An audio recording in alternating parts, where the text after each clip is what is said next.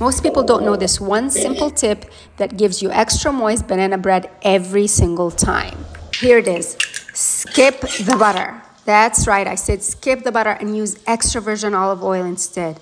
Say what? Yeah, extra virgin olive oil is a great way to cut saturated fat, sure, but it gives you superior moisture over time because it remains in liquid state even if your loaf sits out and you have leftovers. Besides, it gives you a lot more richness and nuanced flavor. That's right, it's a flavor party.